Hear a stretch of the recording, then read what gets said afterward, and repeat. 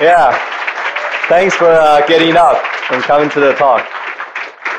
So uh, I was getting nervous whether I can talk today. Um, last night I was boarding a flight from JFK here, and they wouldn't let me on the flight because um, I forgot that with my Taiwanese passport I need a visa here.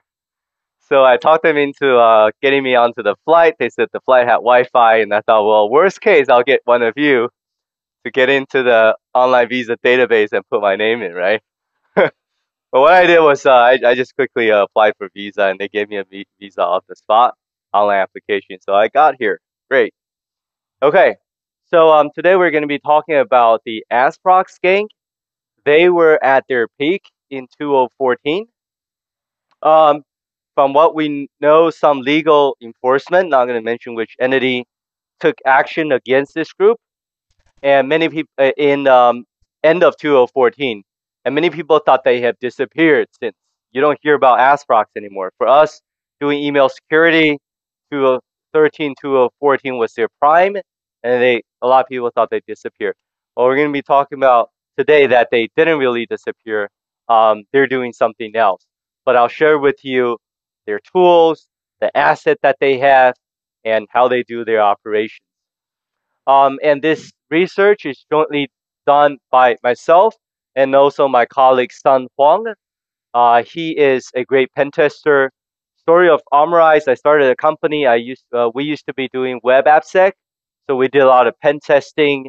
We developed tools to compile source code and find vulnerabilities inside source code.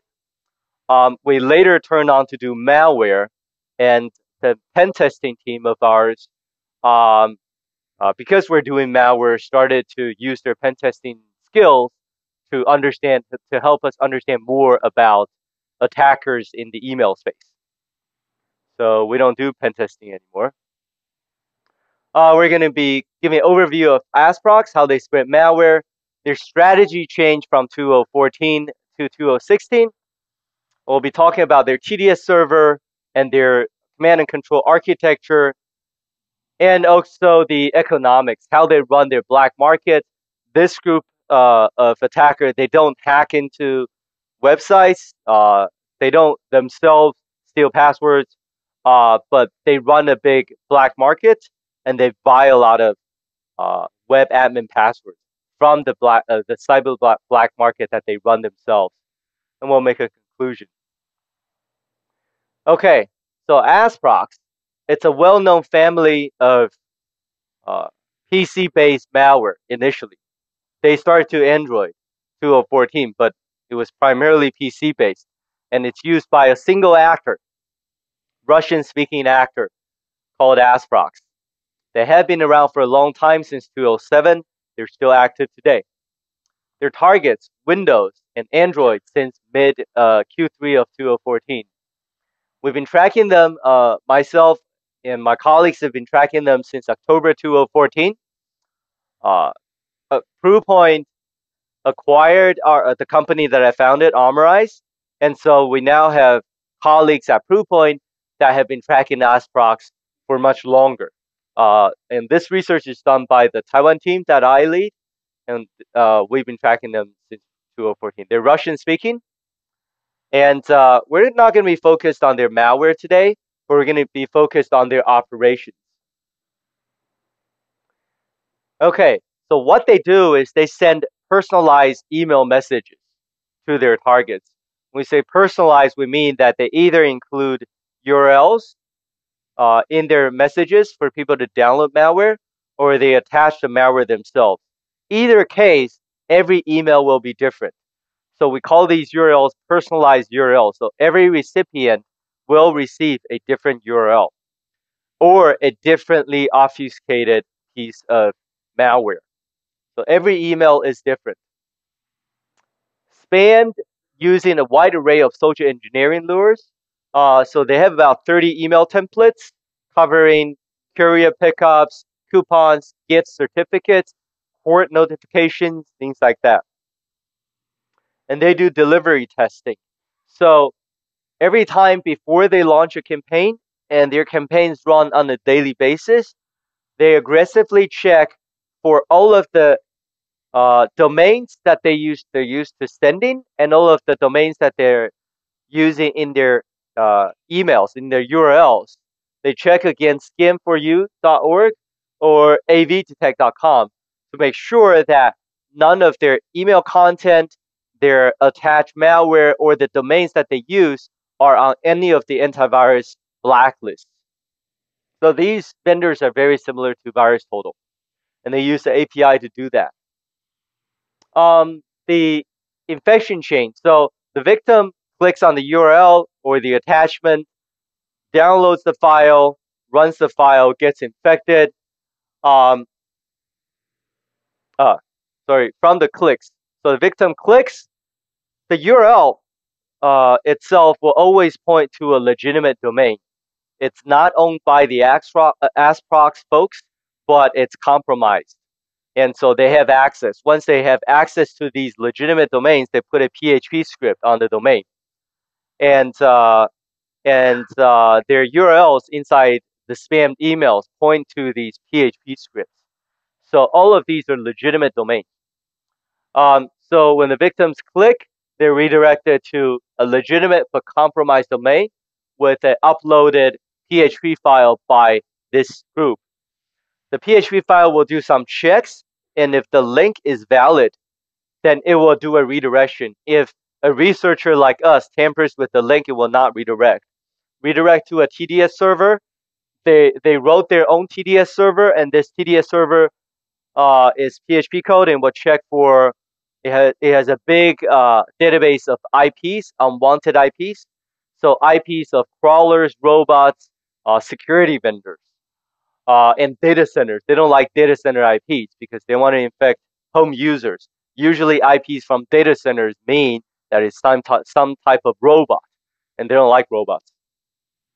And they'll also check for the region because these the nature of email attacks are very regional uh, because the template themselves, for example, if you're attacking North America, it's got to be English.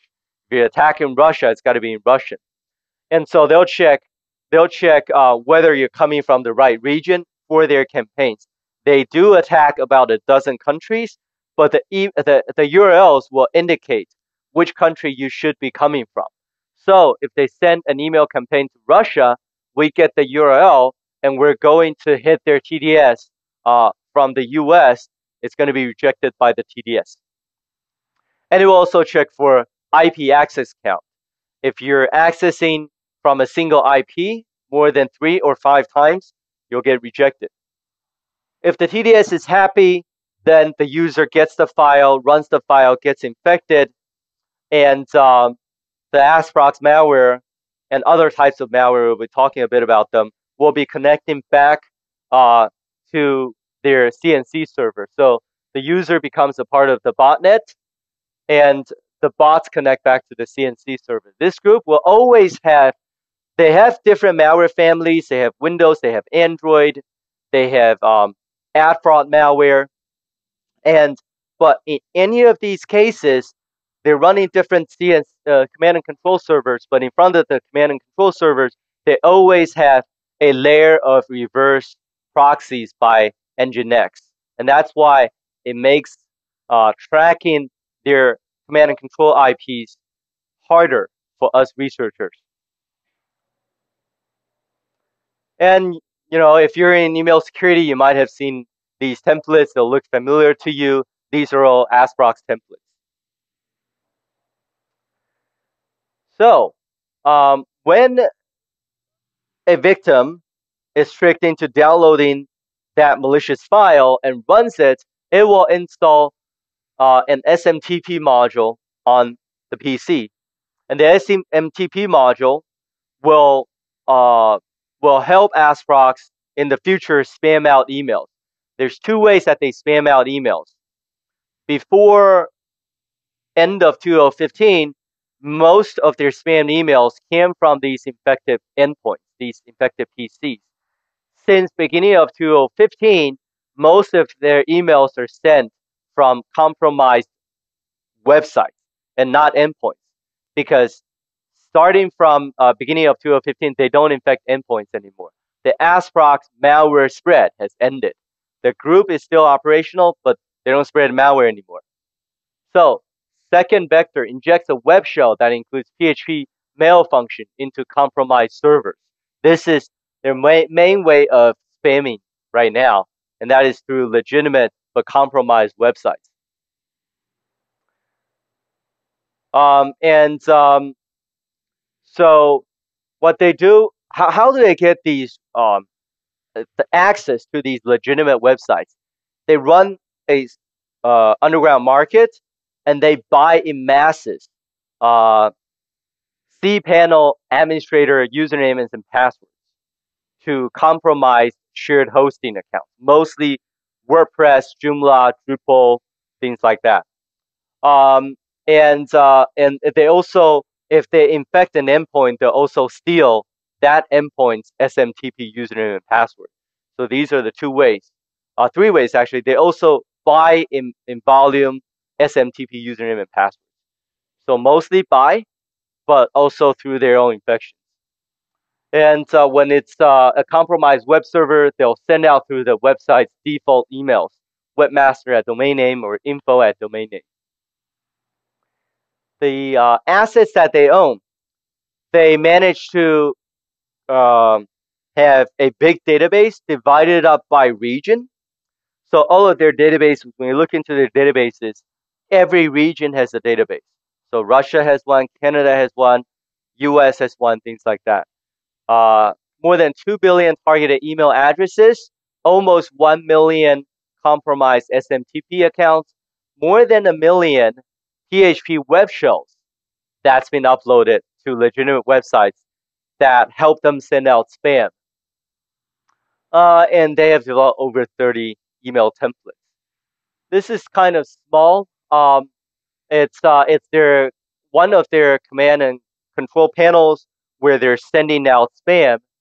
And uh, so here is the this column is the email template that a, that a campaign would be using, uh, the redirection used, and uh, the the interval that uh, that this campaign will run. So it's usually 100,000 seconds. The speed, um, so the delay between um, between um, every batch of emails and also the total amount of emails sent. So as you can see here, usually each campaign sends out 1 million to 6 million emails, uh, email messages per campaign. They schedule their campaigns. So different regions, um, they would they would send to different regions at different times. Um, and sometimes they do waterhole. So what what's in waterhole is uh, let's say they would schedule to send um, to some uh, let's say to the to U.S. Uh, recipients. They would send it let's say 2 a.m. in the morning, right? So 2 a.m. in the morning, a large campaign comes in. Uh, us email security providers sees a whole bunch of emails. We go out and to check for um, the URL and there's nothing in the URL. Okay, so so a security mechanisms like okay, we've checked all these URLs, nothing's there. I didn't see anything bad, and it's a legitimate domain. That's 2 a.m. in the morning. 4 a.m. in the morning, they upload all of the bad stuff on there, but the email is already in your inbox, right? Um, so what we have to do is we have to skim once when the email comes in, change change the the URL to point to our email, uh, to point to our URL shortener. And when you click on it, you're parked at the shortener. We go scan again and then redirect you if we really think it's safe. Um, so, so as you can see, they um, they schedule and uh, every single campaign and according to region. So Russia, Australia, Canada, UK, US. Every region they're sending out different times. The way they get these uh, um, uh, admin user uh, admin and passwords to these legitimate websites through the marketplace that they run. They have over 600 registered sellers on the marketplace. We have seen from their records 500 of these actually made a transaction. So 500 of these uh, 1600 sellers actually sold something to this group. Pricing, a WSO, so a backdoor PHP script to a legitimate website will sell for about half a dollar to two dollars per piece. Same with FTP, access into these websites. SMTP sells for $350 per 1,000 account. Root access sells for 20 bucks because they can do a lot with the SSH root. And then SSH user sells for 5 bucks. Um, it's fully automated, so if you want to sell like large volumes of cPanel access to this group, you have to upload a file according to their format. And the format is just very simple. It's uh, the website uh, URL, semicolon, the cPanel password. And they have scripts then to automatically verify every single line that you submit within that file and to calculate the amount that they need to pay you based on the number of successful logins they can do to the cPanel. So it's fully automated. Um, as a seller, you just upload your file, they'll calculate the amount. Um, and um, over the nine months that we were able to study this underground market uh, and its databases, uh, they have spent 100, uh, 135,000 USD over the period of nine months. So that's quite some money that they're actually spending. Uh, and uh, they have uh, a bookkeeping interface where they will see all of they list out all of the amounts that they're paying out to these sellers. So we did a study on so how are these websites compromised? Why are there still so many um, compromised shared hosting admin passwords? Uh, so we studied these compromised websites and same as in the past, and this goes all the way back to 208 actually, it's all um, open source vulnerabilities. So what these sellers do is when WordPress releases a new update, they would do a diff, right? And say, all right, so this is the update. So this time WordPress actually passed these, uh, actually patched a few SQL injection vulnerabilities. So then they'll they'll uh, they'll uh, quickly modify their script that massively scans for all of the legitimate WordPress sites out there and conduct that SQL injection. So on the day of WordPress releasing the patch, if you don't patch, then they can scan your website and automatically use that SQL injection to inject a PHP backdoor, a WS shell into your website. Um, and that, and mostly you can see, uh, uh we, we've studied the vulnerabilities that they use, uh, mostly Drupal, Joomla, WordPress, and WordPress uh, plugins is what we see. Okay, uh, so all of their URLs are personalized. So although they all point to these legitimate domains that they that they have bought, but every single URL looks different. They frequently change the web shell PHP file names, and they obfuscate and pack their malware daily. Uh, and they do delivery testing using the two vendors I've mentioned. And all of this, then, they're making sure that they're almost uh, non-detectable uh, against most antivirus. Uh, and then how people like us detect them is, for example, when they don't like your URL, they wrote this uh, they wrote this uh, PHP script that redirects you to a 404 page. Well, the script is re- uh, is written by them manually, so it's not something that other people have, and it's a unique redirection mechanism. So when we're redirected this way, we just know it's Asprox because we have their source code. So that's how we use leverage this type of security research for our detection.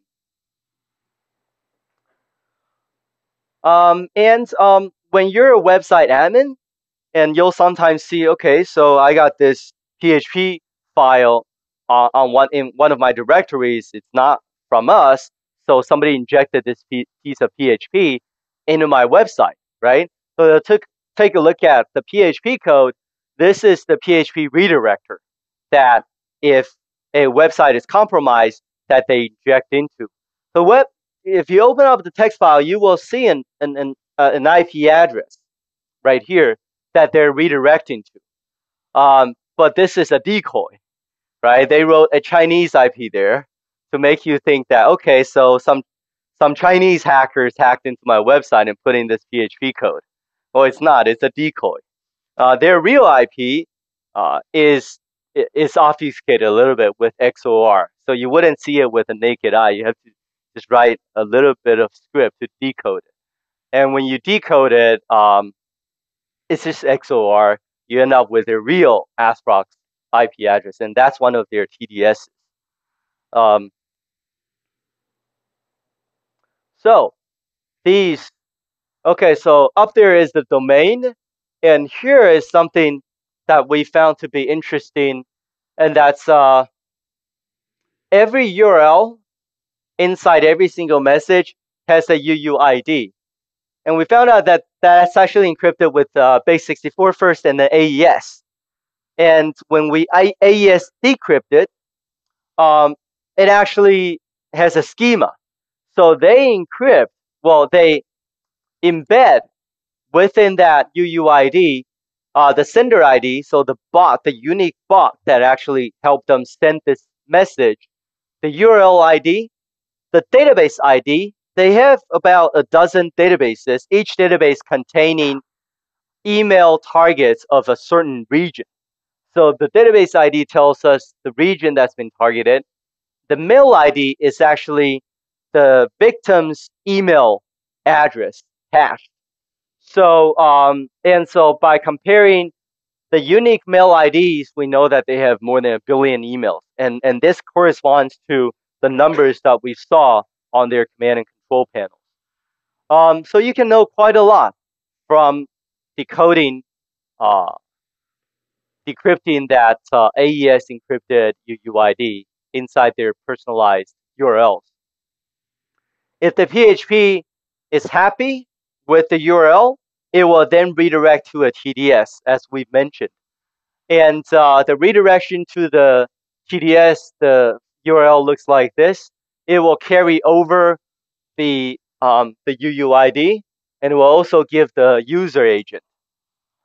And uh, the user agent is important uh, because they started to send to redirect differently. So the TDS will redirect you um, to to a Windows malware if you come from Windows, will redirect you to an Android APK download if you're coming from Android, and it will not redirect. It will serve you nothing when you're coming from a Mac. Um, so the TDS will redirect to download uh, zip files, and it will log. It does extensive logging. It will ban unwanted downloads based on blacklist and uh, it, it have vulnerabilities, uh, and that's why we were able to study them. It will also, you see in their code, they use this keyword called abuse a lot, right? They don't like security researchers abusing their services. So every time they find abuse, uh, for example, if an IP is hitting them too many times, it will their script will in real time use Jabber to notify them, hey, somebody's snooping on us. Um, and uh, and so so they'll they'll react quickly to that. So if you're you know if you're at office and you're trying to study this group, you hit them uh, too many times, more than three or five times a day, your IP will get banned banned very quickly. Okay, so they have alert notification, uh, and you see they're using know, the word abuse. Uh, don't like being abused. Their TDS server has uh, changed IP only six times, um, and uh, URL pass only four times in the past 21 months. So they don't change their TDS IPs that often. Um, and so um, actually, and so sometimes we don't recognize their domains, and, it, and the domain um, is legitimate, but we always would recognize their TDS. If the TDS is happy, with the IP and with the visitor, it will redirect uh, to download malware. Malware will connect to the C2 server. The C2 servers, there's always a layer of nginx in front of the C2 servers. Uh, and the actual C2s are all located either in Russia or Ukraine. It only serves out, uh, it, it only runs uh, four to five different uh, malware command and controls. So Asprox, variants, Android, Pony, ADV. Um, and um, their command and controls actually they own. They don't use compromised servers for command and controls. Uh, they go and rent them. And Nginx proxies in front.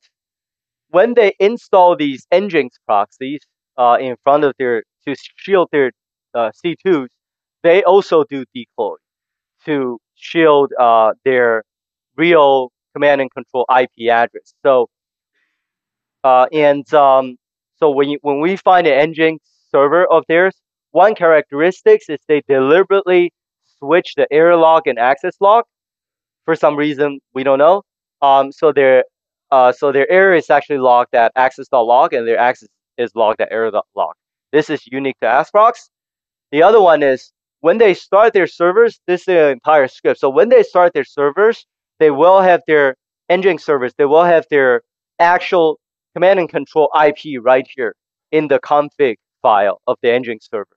But as soon as the Nginx server is started, um, they will kill that file. They'll remove that file and they'll generate another config file pointing to a decoy IP. So if you happen to get into one of the Nginxes, you look at the Nginx config file, that's a decoy IP. You never get the real IP because they delete the config file right after they start their server. Okay, so that's for the command and control. Um, aside from the Asprox malware family, they also run um, ad fraud. So they have a specialized ad fraud server where their um, the infected endpoints will have this file called URL viewer.dll. And what this DLL does is it will open up new tabs in your browser and, and direct the browser to some websites that are paying them per impression. And they make revenue by the impression count. And these are usually loans, fun, uh, loans or gam gambling, things like that.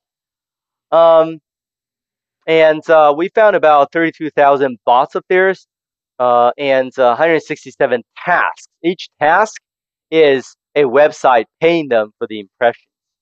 So quite a lot of business in terms of tasks. So they have a different command and control panel to uh, to control their infected endpoints to browse certain websites.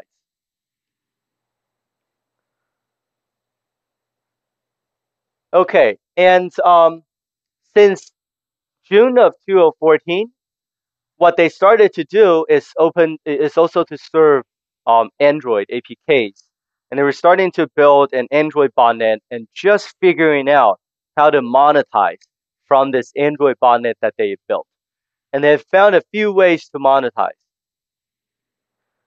Um, their Android malware supports basically these five features: steal device info, steal contact info, SMS, GPS, and call recording. Okay, so um, during the short four months that we were um, able to study them before uh, the legal enforcement worked with some of our colleagues to take them down, um, we saw about 500 Android users infected. That's not a big number, but uh, considering that they just started, the click rate, the conversion rate is more than 5%, which is pretty high for us. That means from somebody clicking to somebody actually getting infected. Uh, for every 100 clicks, it's about more than five infections. So the conversion rate is actually pretty high. And here, what uh, what you can do is um, this interface allows you to rent an Android bot. So you can, let's say you want uh, somebody's mobile phone in Bay Area in San Francisco. You can search, and if it, it says yes, I got somebody in San Francisco, you can rent and fully control that device for 20 bucks an hour. Um, so, so uh, and it's pretty useful for targeted, uh, and, and, they have been doing this, uh, these uh, Russian gangs for some, some time because it's very useful. Think about it, and they also the uh, some other gangs also rent um, just infected PCs. So like if you're trying to get into a bank, let's say Wells Fargo or Bank of America, um, sometimes you get lucky. You Google for that IP range and there's infected endpoint. Then you don't need to hack your way in, right? You just rent that bot and you get in to the corporate network. Um, so here's the interface of um, of um, so you can click on every single bot and here you'll see all of the SMS and you can do that those five features. Uh, you can get their GPS, you can get you can download their contact and things like that. And the last three SMS messages received by the bot is uh, by by that Android device is listed there. So this is the interface that you get if you pay 20 bucks an hour. Okay. Um, and in front of their Android command and control, uh, there is also a layer of Nginx. So to protect that uh, command and control, nine Nginx servers, and this is their uh, uh, their control panel for those nine Nginx servers, all shielding the real Android C2. They stole contacts themselves, uh, 750 or 1,000 or so uh, contacts, and they steal these contacts because at that time they were also starting to spam out SMS and these Android devices will help them spam out SMS. Um, and they also download people's SMS messages. Uh, I don't know why. For uh, they download more than a million messages. They also record people's locations, GPS locations, and from the phones, the contact, uh, the con the directory on the phone allows them to uh, to harvest emails. So they've got a lot of emails out of these phones as well physical addresses. They like to keep people's physical addresses if they can find them on their phone, probably to conduct some fraud. Phone numbers as well. Okay, and this is the interface. Again, phone, region, city, you can query and, and you can just rent a bot. So comparing um, the uh, click statistics, uh, you can see that the red ones are unwanted clicks so the red ones are clicks to um, their e uh, their PC based uh, malware, and you can see that almost half of the malware downloads they don't want. They will not give you anything, and I I think it's because there are many vendors like us that have automated mechanisms that when every email comes in, we're going out to fetch whatever that URL has, right? And so they have blacklisted a lot of our IPs. Um, so that's about half. Uh, Android, much less. So um, about uh, three fourths of Android clicks are always permitted. Uh, we don't know why. Maybe maybe um, not many security vendors have um, Android scanning. Their targets, they're very very targeted. That's the nature of email campaigns. Um, you have to know the you have to know the region. You have to craft a good email for those recipients of that region. And so these are the only regions that they target, about a dozen countries, and that's it. Right? Japan is completely off the list. Taiwan, for example, we never have uh, Asprox. Um, but U.S., Canada, um, just uh, the bigger economies too. Okay, since uh, one of our colleagues worked with the feds and uh, took them down.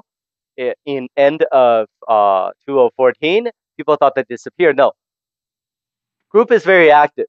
They wouldn't spread malware anymore because they got busted, right? So they were really trying to figure out what to do next. And they started um, these email campaigns uh, mostly to um, to do um, to do weight loss and just some scams. Okay, so initially that was uh, what they did. So scams, selling fake drugs, weight loss drugs, things like that. And um, since April of 20, uh, of 2015 until now, they found something to make money with, um, and uh, that is uh, fraudulent dating sites. Okay, um, so they spent their time to write these robots. Uh, so, so with these dating sites, you can pay for a VIP membership, then you can talk to the girls. You talk to their robots, and these robots actually respond to you. Um, and so, so they spam out all of these emails, luring you to their um, dating online dating site, uh, which is better than Tinder, uh, and have their robots talk to you for a fee. So that's what uh, they do these days. Um, you have to verify your age. You have to be over 18, and the way you verify your age is to give them your credit card info. Uh, and they have VIP membership. Subscription auto renews at more than 100 bucks per month, unless you explicitly cancel. So they're not dead. Um, they've found some other ways to make money with their more than 1 billion targeted emails um, and with their still a uh, big number of websites that help them send out spam, but they don't spread malware anymore. So, uh, counting their assets still owned by them so far, more than 3 million WSO web shells to legitimate websites, more than almost 8 million unique file names, um, 2 million SMTP accounts, half a million FTP accounts, a thousand or so SSH root access, uh, 50,000 user SSH user, a billion or so targeted emails. So, conclusion. Um, they're very good with uh, their proxies and their TDSs. They're very picky about the visitor and who to serve, who to not to serve. Uh, they built their own market to acquire all of the assets that they use. Uh, they changed strategy from malware campaigns to email scams now. And uh, it seems that mass scale server compromise remains popular. Uh, we see them still um, acquiring large amounts of shared hosting admins um, from, uh, from compromise due to open source vulnerabilities. Okay, that's it. Hope you guys like it. Uh, do we have time for questions? All right. Okay, cool. Yeah. Um, yeah. There are quite many people, very, very, sometimes very non-technical people. So I think uh, maybe a lot of them are like students, part-time, just trying to get a job somehow. And they probably had this standard procedure that they hand them and people just, just, you know, follow the books to their jobs. Um, core, you know, good technical people, say probably five, maybe, not a lot. Yeah. Yeah.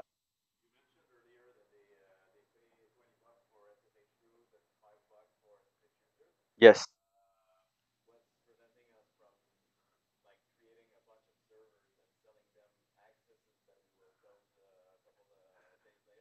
You can try. You can try. How it will work? How it will work until they shut down your account? Yeah. Yeah, yeah, yeah. Yeah, that's uh, that's decent money. I agree. Never thought of it. probably make a few hundred bucks before you try to do something. Yep.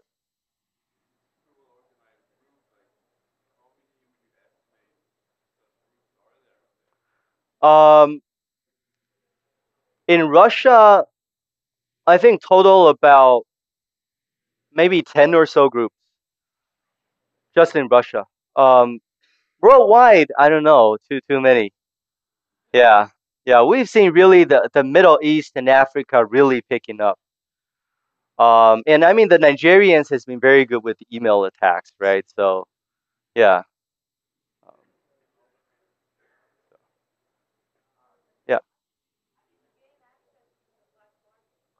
Um, yeah, so for their black market, we, we, we were able to, for a period of time, get access to their database servers. Just that they, they just don't have good security practices. Uh, it's it's actually pretty pretty easy to get in. Yeah.